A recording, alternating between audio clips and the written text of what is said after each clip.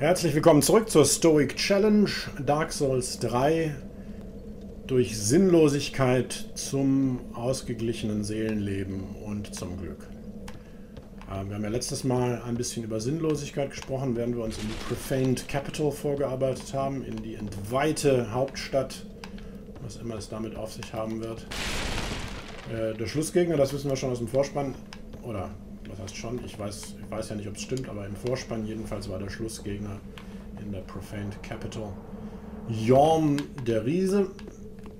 Wie gesagt, ob das stimmt, ist so ein bisschen unklar, weil ja auch äh, Aldrich in der Cathedral of the Deep erwartet wurde und er stellte sich dann raus, dass Aldrich in Anor Londo auf uns gewartet nicht hat, sondern immer noch auf uns wartet, weil wir den auch gar nicht besiegt haben mir wird gerade klar, dass ich 32.000 Seelen hier habe.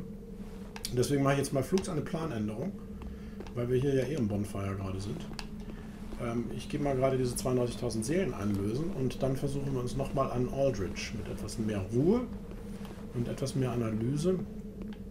Und dann eigentlich muss der ja zu schaffen sein und dann wäre diese Sackgasse, beziehungsweise dieses lose Ende beendet. Ich glaube nicht, dass es nach Aldrich da oben noch weitergehen wird in Anno Londo. Ähm, ich weiß es nicht. Vielleicht geht da auch dahinter noch was weiter, aber vermutlich nicht.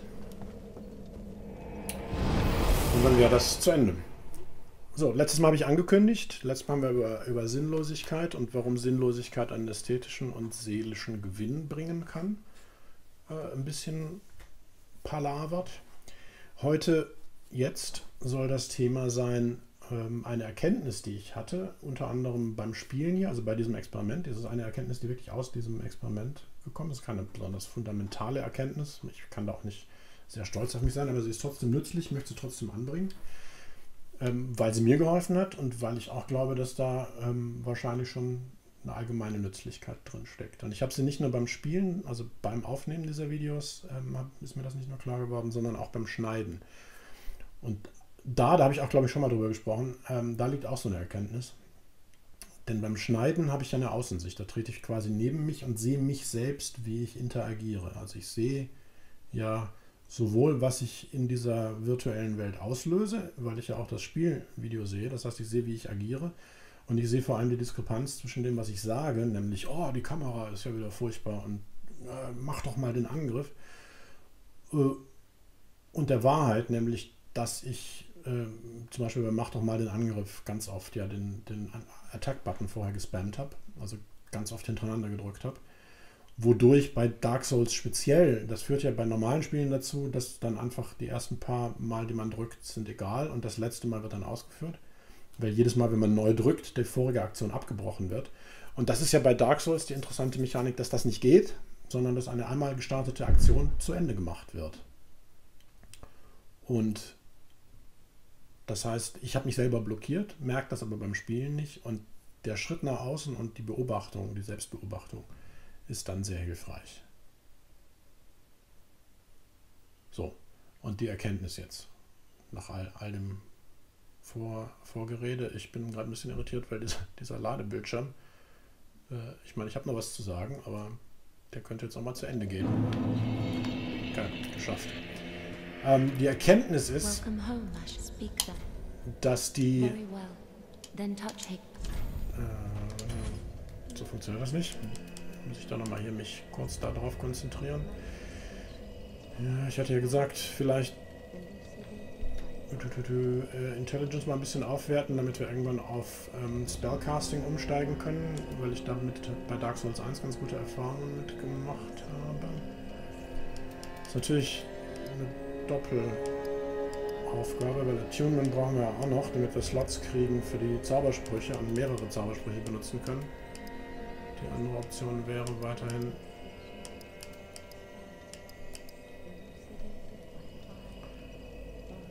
hier die Stärke zu vergrößern.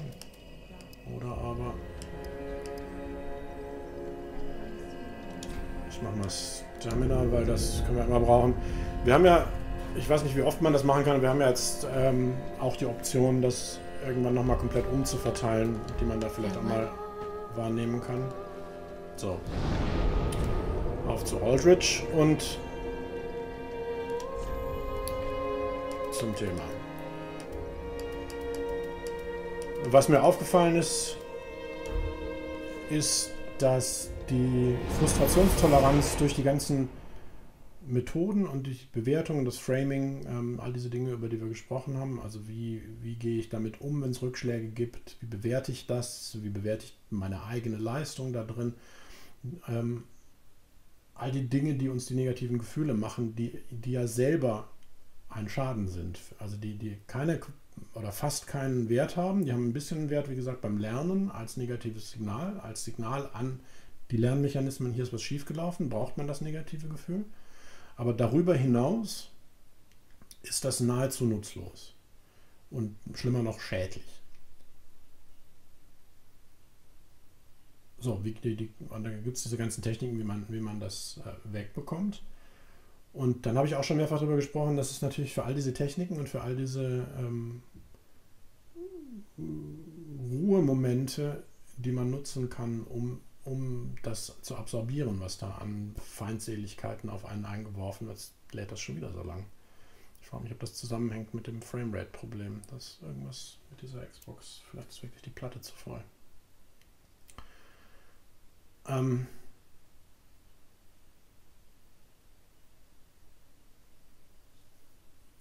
hm, kann ich jetzt eh nichts machen.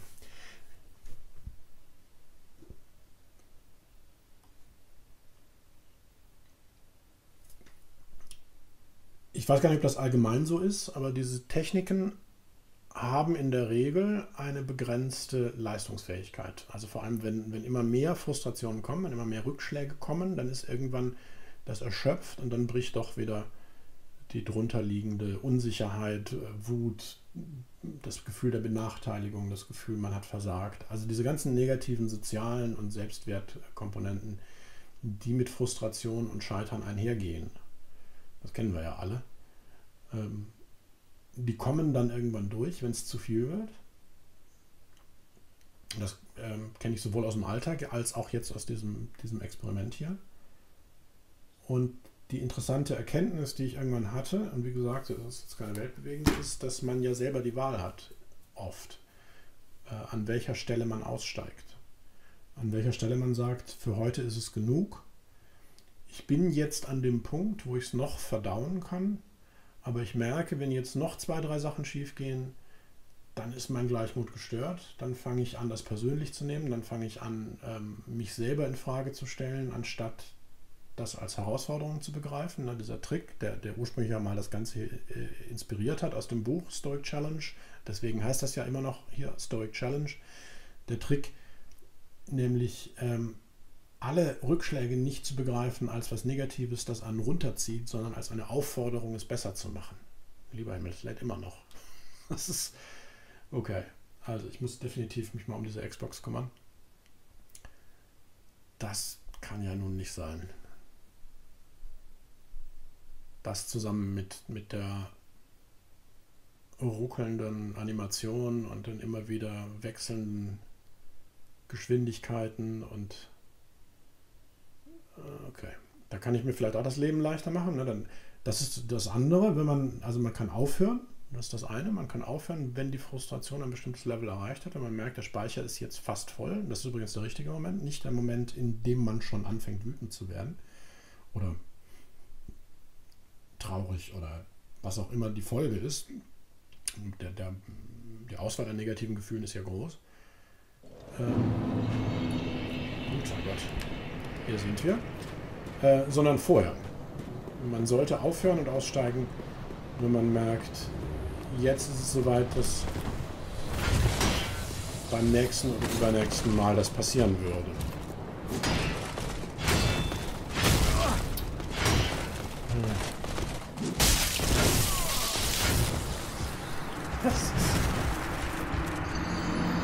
Jetzt bitte aber wenigstens nicht wieder so lange laden.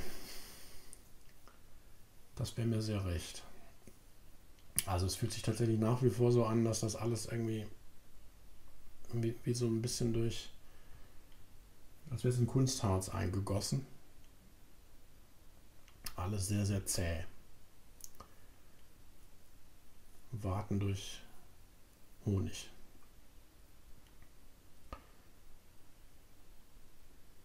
Ja, das, also das merke ich halt beim Aufnehmen hier definitiv, dass wenn ich eine Folge zu viel aufnehme, und das eine Problem ist, dass mir dann nichts mehr einfällt, um es zu reden und ich dann lange, lange Schweigepausen mache. Das ist, glaube ich, gar nicht so schlimm, weil das beim Ansehen, das merke ich auch beim Schneiden dann, ähm, hat das dann, also das ist ja im Prinzip einfach nur ein, ein, was, was dem ganzen Rhythmus gibt. Dann ist halt mal eine Weile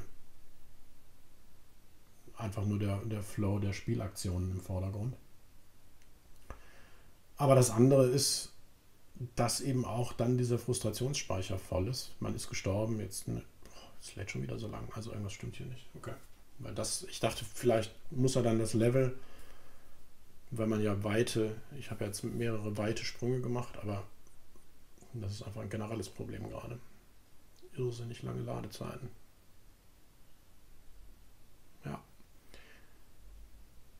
Es kann auch sein, fällt mir gerade auf, irgendein Update war am Anfang gestartet. Ich hätte jetzt gedacht, dass das... Ne, da steht auch Updating. Ach, Xbox. Okay, meine Xbox updatet gerade im Hintergrund ein anderes Spiel. Ich scheine das auch nicht abbrechen zu können. Das ist, äh, das ist jetzt völlig am Thema dieses, äh, dieser Videoserie vorbei, aber das ist was, das mich zunehmend nervt will nicht sagen frustriert, weil sonst müsste man es wieder abstellen, aber das mich zunehmend nervt, dass alle äh, sowohl Webseiten als auch Betriebssysteme, also Geräte generell ähm, diese wahnsinnigen Aufmerksamkeitshunger haben und auch zunehmend ähm, weniger Freiheiten geben, sich dem zu entziehen. Ich habe gerade mein, mein Windows gestartet und dann hatte Microsoft mir da das neue Edge, also diesen blödsinnigen Browser, den sie entwickelt haben, als Konkurrenz gegen die bestehenden Browser. Ah. Ah.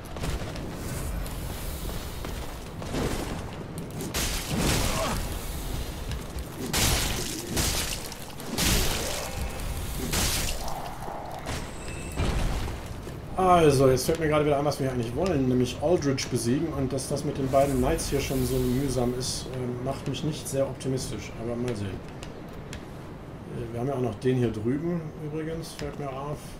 Können natürlich erstmal da noch gucken, was es da noch gibt. Es ist ja auch immer noch die Frage offen, ob es hier irgendwo eine Rune gibt, um sich Hilfe zu holen. Das haben wir alles noch nicht gefunden.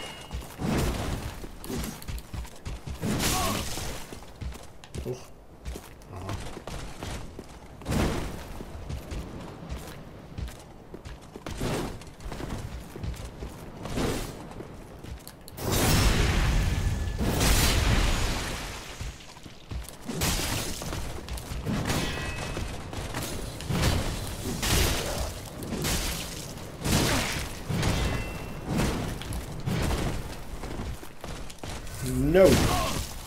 No. No. Himmel. Also, definitiv, ähm, jetzt gerade liegt es definitiv an diesem Update. Das ist gerade, das war reines Glück, dass das funktioniert hatte. Die Aktionen haben immer mehrere Sekunden Vorlauf gebraucht. Aha. Visions of Master und eine geschlossene Tür. Ich versuche mich gerade zu erinnern, was hier im Original Anolondo war. Nix war da, die Tür ging nicht auf. Hier, hier drüben waren ja die Archer.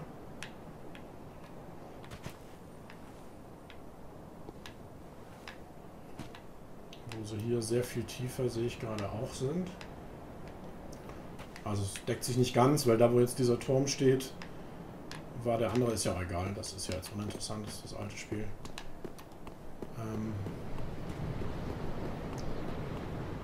noch das Item mitnehmen.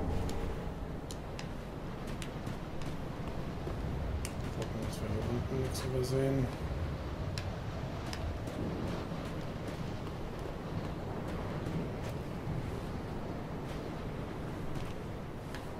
Ja, da drüben ist der Turm, in den wir am Ende irgendwann mal springen wollen. Das muss man mal gucken, wir das schaffen, aber das mache ich nicht, bevor ich nicht Aldrich erledigt habe. Und das ist jetzt mit sieben Estus-Flaschen vielleicht einen Versuch wert. Aber jetzt, wo wir hier die ganze Fläche für uns haben, schauen wir mal, ob wir vielleicht wir uns Hilfe holen können. Die sind ja immer gelegentlich versteckt, diese Botschaften oder diese, diese Schriftzüge. Ja, da sehe ich jetzt nix.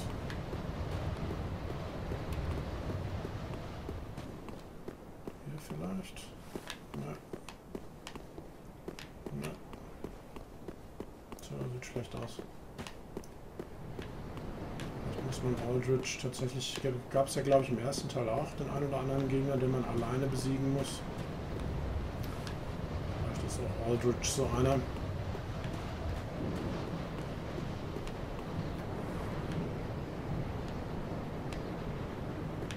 Drüben sehe ich jetzt auch nichts. Ich weiß nicht, ob da noch ein Gegner ist. Das müsste jetzt nicht unbedingt sein, weil das uns ja den Estus kostet. Aber ist niemand mehr. Ach ja, hier ist ja der Blacksmith, Tote. Ja. Auch wieder so ein Fall von Krokodilstränen, weil man ja, wenn man den ersten Teil ernsthaft spielt, am Ende, wie gesagt, alle hm, benannten Computerfiguren umbringt und sich ihre Items holt. Das heißt, den habe ich auch schon mehrfach selber umgebracht. Meine Sadness darüber, dass er jetzt schon wieder tot da liegt, hält sich ein bisschen in Grenzen. So. Jetzt haben wir natürlich immer noch dieses Monster hier. Und das bleibt auch so, weil das kostet mich jetzt zu viel Estus. Ich weiß eh nicht, ob sieben Flaschen genug sind. Ich fürchte nein. Zickzack hier, damit die uns nicht blöden Flammen, gerade sage ich's, treffen. Ein Schriftzug. Gut, hier sind wir wieder.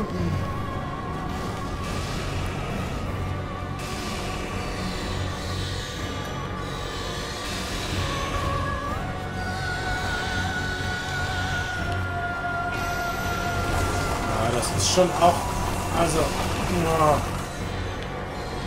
das ist eigentlich kaum spielbar. Das ist sehr uneinheitlich, die Framerate. Das ruckelt total. Deswegen hatte ich da auch so Schwierigkeiten. Das ist überhaupt kein flüssiges Bild. Vielleicht muss ich erstmal ein Xbox-Problem lösen, bevor ich hier ernsthaft die Chance habe.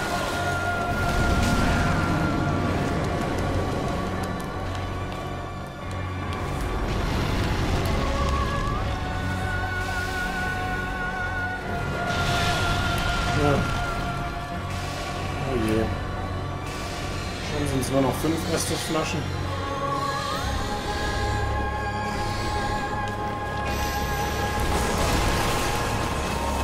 Und schon.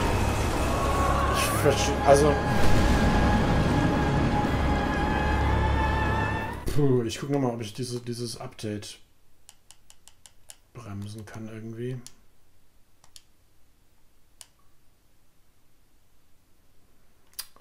Fortnite added to home. Pause updating. Okay. Gut. Vielleicht hilft das. Denn das ist so nicht machbar. Die Framerate. Ich weiß nicht, ob man das im Video auch sehen wird, aber die Framerate ist das. Und ich habe gar keine Chance zu reagieren, weil das so, so schwerfällig alles ist. Und das ist genau genommen, ist es hier eigentlich jetzt auch schon. Das sind keine 30 Frames per Second, das ist irgendein Schrott.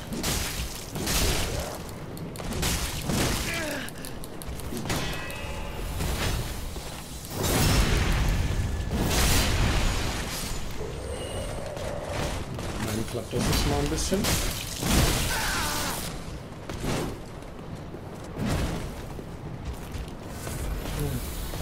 Wieder ein erstes weg.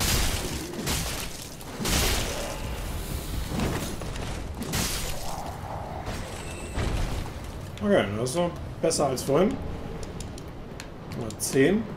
Und es ist ja eh, äh, wenn die Framerate so ist, wie sie gerade ist, ist ja eh nicht der Estus der Limiting Factor, sondern wir sterben einfach, weil wir nicht ausweichen und heilen können. Da ist dann auch egal, wie viel Lebensenergie wir mitbringen. Jetzt möglichst nicht von denen getroffen werden diesmal. Very good. Hier irgendwo müssen die Seelen liegen, da sind sie. Okay. So, der hat zwei oder drei verschiedene Angriffe. Er hat diese kleinen Leuchtkügelchen. Er hat das, diesen Riesenangriff, den ich jetzt beinahe nicht vorhergesehen habe, aber gerade noch kapiert habe, dass ich ausweichen muss. Und dann hat er diesen Regen. Aus Dolchen oder was das ist.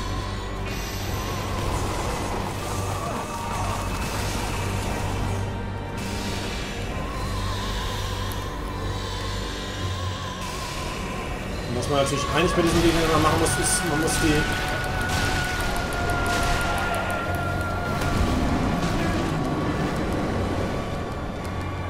Let me go. Man muss die Angriffsmuster durchschauen, sodass man entsprechend agieren kann. Also das kann man, kann ganz gut vermeiden. Das darf einen äh, schon gar nicht zweimal in Folge treffen. Und das Schlimmste ist dieser Dolchregen, den muss man dringend ausweichen. Da ist er wieder. Das ist sehr, sehr tödlich.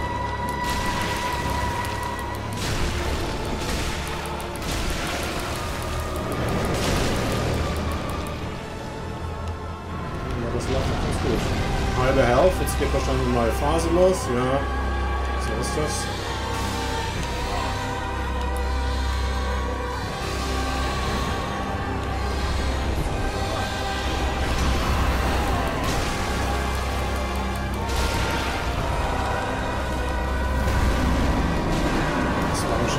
ideale Punkt, um zu trinken.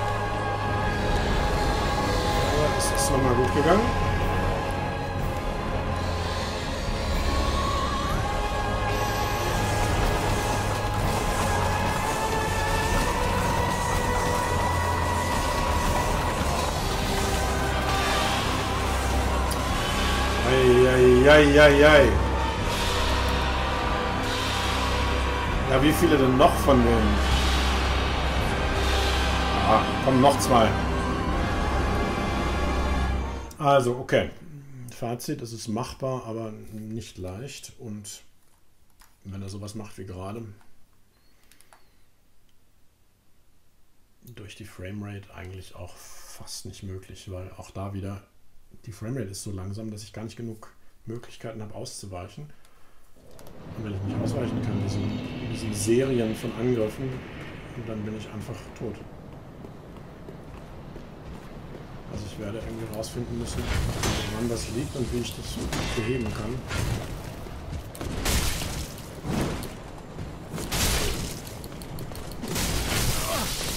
Also auch hier jetzt, warum, warum hat der zweite Angriff nicht funktioniert?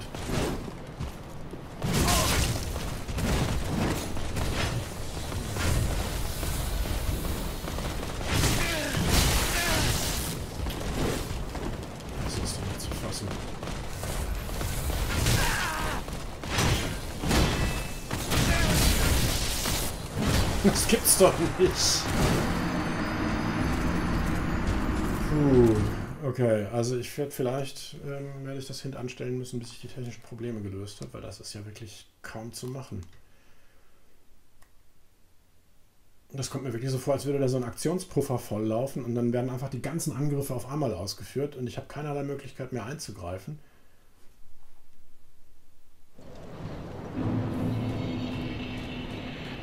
Vielleicht ist das jetzt auch wieder was, was ich später, wenn ich mir das angucke, dann anders bewerte, aber...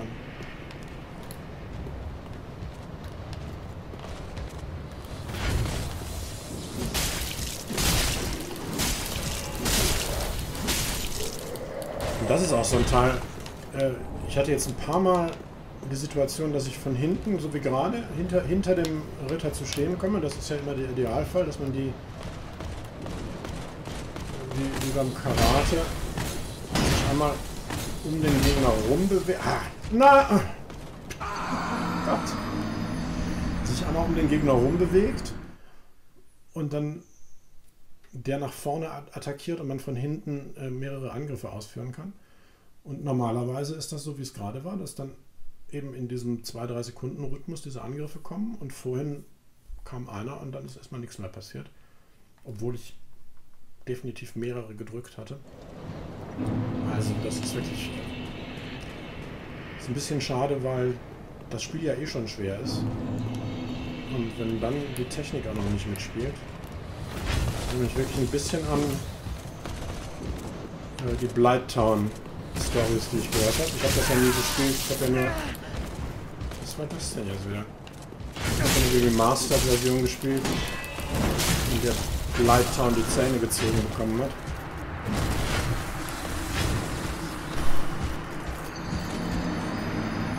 Ja, also... Ich fürchte, es sieht nicht gut aus. Vielleicht werde ich wirklich irgendwas deinstallieren müssen. hoffen, dass das hilft. Denn das ist ja auch noch so eine Sache. Ich weiß gar nicht, bei Computern ist das auch schon ein bisschen undurchsichtig. Ich glaube, Microsoft hat irgendwann Defrag, Festplattendefragmentierung ins Betriebssystem eingebaut, aber ob das jetzt auf der Xbox auch so ist. Also wenn jetzt zum Beispiel dieses Spiel auf einem schlechten Teil der Festplatte liegen sollte, auf einem Teil der Festplatte, der nicht schnell zugänglich ist,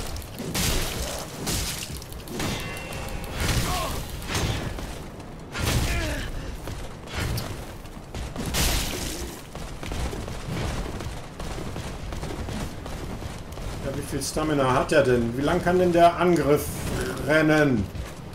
Das ist doch... Das kann doch wohl nicht wahr sein.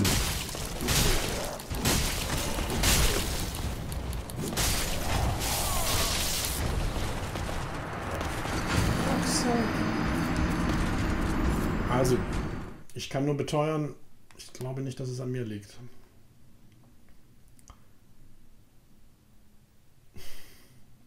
Alles so schwerfällig und ruckelig, dass ich gar nicht viel anders machen könnte.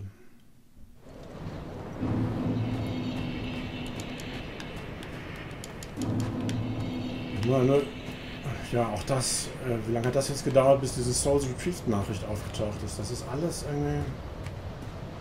Hm, mal gerade. Ne, sieht nicht so aus. Ich dachte, vielleicht hat er jetzt einfach äh, auch die Queue gewechselt und installiert gerade ein anderes Spiel, statt dem das pausierte. Scheint aber nicht dabei zu sein. Ja, das meine ich. Manchmal klappt das und manchmal klappt es einfach nicht.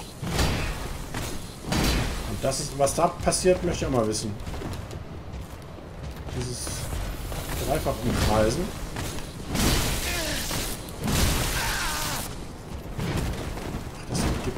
Gibt's doch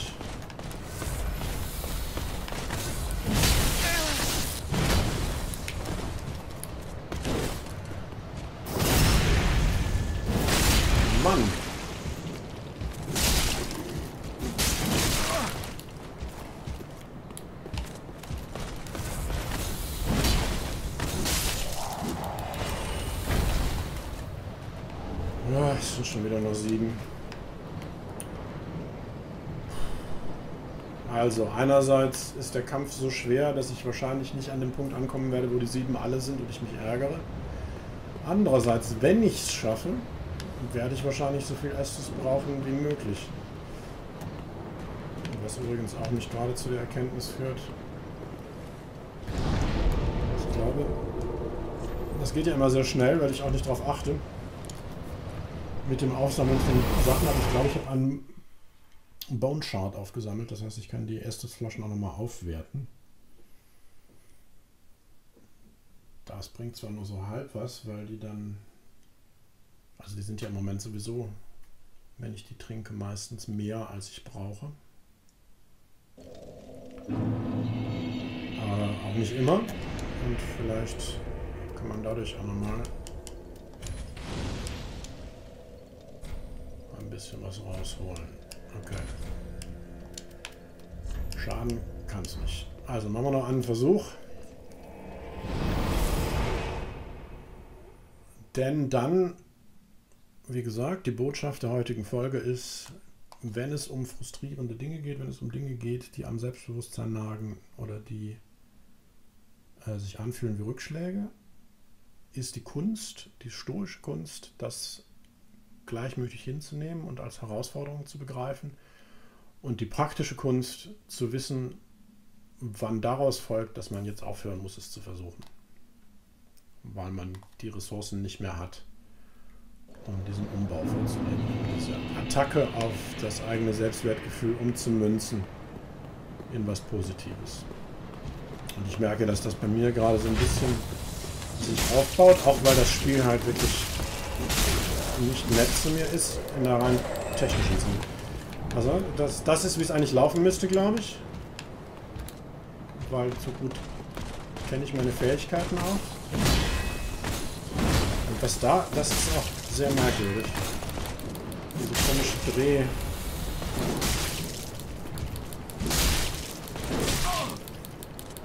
Ein Problem, das ich natürlich nach wie vor hier habe.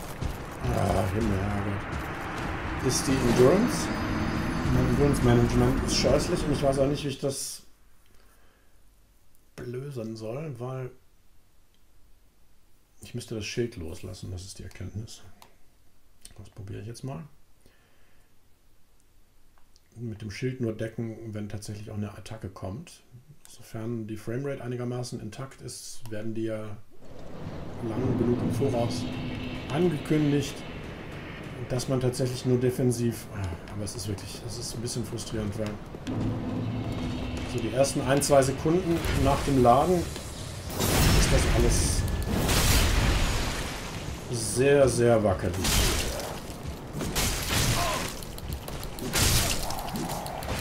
Kriegt er da jetzt noch einen Angriff unter? Ja.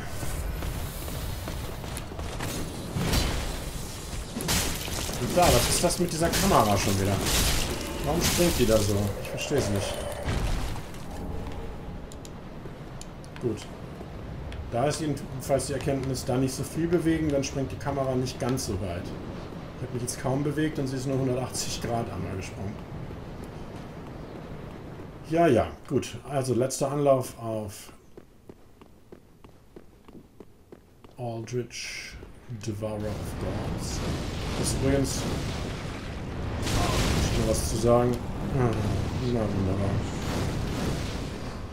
ein Lore-Element wahrscheinlich, ein ganz interessantes, dass ja, hier ja überall tote Götter rumliegen und hier ist ein Devourer of Gods. Der wird die wohl auf dem Gewissen haben. Achso, was man natürlich auch noch...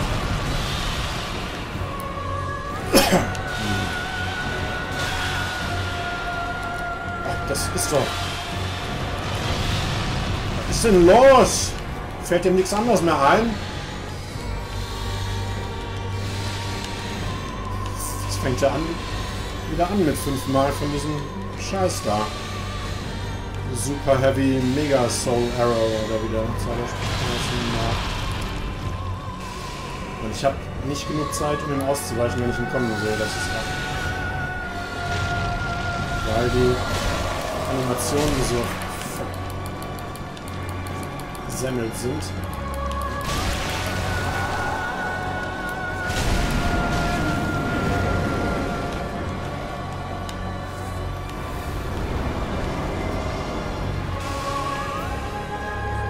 Ich habe den Ahnung, man muss vielleicht ein bisschen näher bei Aldrich bleiben.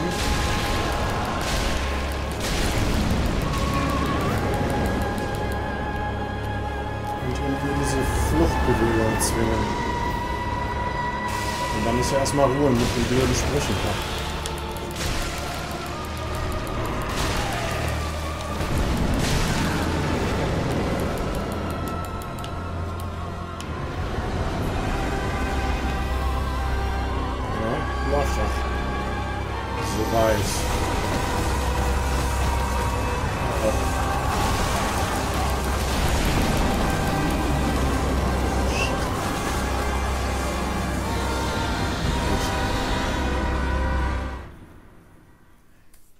Das ist jetzt, da muss ich erstmal noch lernen, was die einzelnen Bewegungen für die Attacken bedeuten. Ich habe noch nicht verstanden, wann diese Attacke kommt, denn da ist ganz klar, da darf man nicht angreifen. Da muss man in einem Bogen durch den Raum rennen, damit einen dieser Regen, dieser, dieser Dolchregen nicht erreicht, denn der macht so viel Schaden. Der kann einen, glaube ich, alleine umbringen. Also, einen Versuch noch. Das lief hier gerade ganz gut. Das hat jetzt wieder die Frustrationsspeicher ein bisschen aufgefüllt.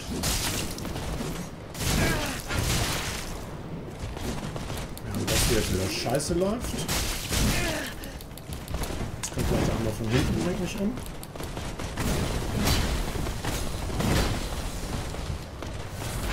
Beide zusammen. Geht ja, ah, geht auch gar nicht gut aus.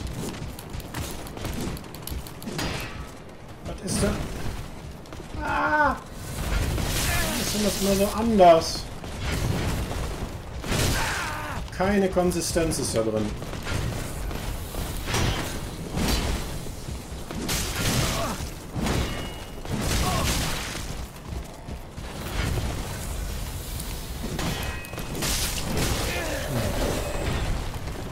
Wirklich, den habe ich... Dann ist auch noch mit der Kampfmechanik durchgegangen, weil...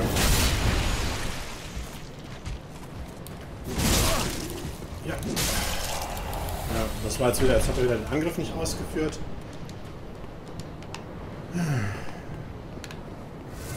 Macht mich nicht froh. Ich glaube, und das ist auch dann als Abschluss ganz gut, denn jetzt merke ich, das ist jetzt wirklich das letzte Mal. Jetzt bin ich mal der Kunde meiner eigenen Weisheit und höre auf die Signale.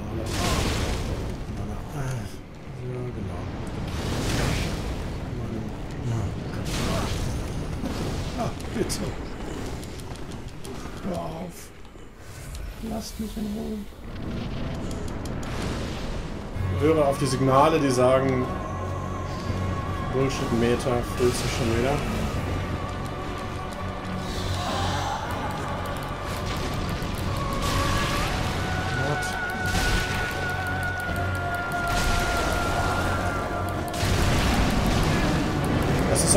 Glaube, da ist jetzt gerade erst seine Health Bar aufgetaucht. Das ist alles wahnsinnig laggy und buggy. Also nicht buggy, aber äh, die ganze Mechanik ist irgendwie beschädigt. Die ganze Bewegung, ich bewege mich wie ein Zeitlupe die ganze Zeit.